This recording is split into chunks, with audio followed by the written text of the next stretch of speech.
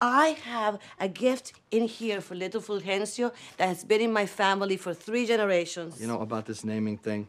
In America, it's not real common to hear the name Fulgencio. It's Fulgencio. Hen.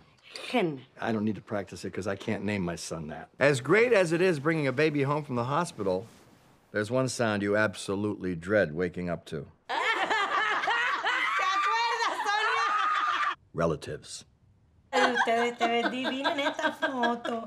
I really never saw these wedding pictures, Mama. How handsome and young Papa looks. Ay, it makes me sad. Ay, I know that you miss him. No, look at my ass.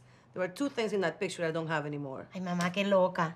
Sonia, can I help you? No, no, she's fine. It keeps her busy. We need more corn. Gloria, where's your garden? I will harvest some. They don't live that way, honey. Gloria, give me the keys. We'll go to the market. You're all awake. I didn't hear you. Oh, look at my two handsome men, mi niño, mi little Fulgencio Humberto. You know about the name. We're not entirely Sonia, sure. vámonos. Goodbye, Fulgencio. Say goodbye to Fulgencio. Goodbye, Fulgencio. His name is Joe.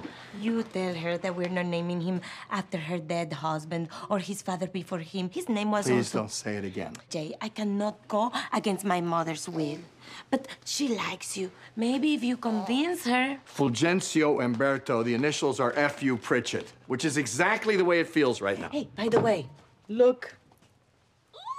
It's beautiful, no? It's the dressing gown for Fulgencio's christening. All the men in our family wear this. What's one more son in a dress? Oh, tradition. Oh, it's so important. I have a gift in here for little Fulgencio that has been in my family for three generations. You know about this naming thing? In America, it's not real common to hear the name Fulgencio. It's Fulgencio. Hen. Hen. I don't need to practice it because I can't name my son that. I'm just being honest with you. No, no, no, no, no, no. That's good. That's good. I should be more honest with you sometimes. We know each other a few years. I don't like you, Jay. Huh? Nah. We can act like everything is fine for the family. But you know, I have never liked you. The way you take whatever looks good to you, you know.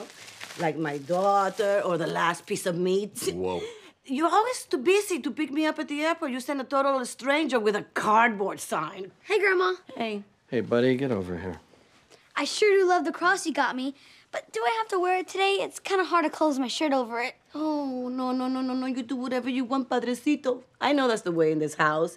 But if you wear it, ooh, you make me proud. It's been in my family for five generations. Okay. I'll walk you out, buddy. Is anything in her family new? Just you.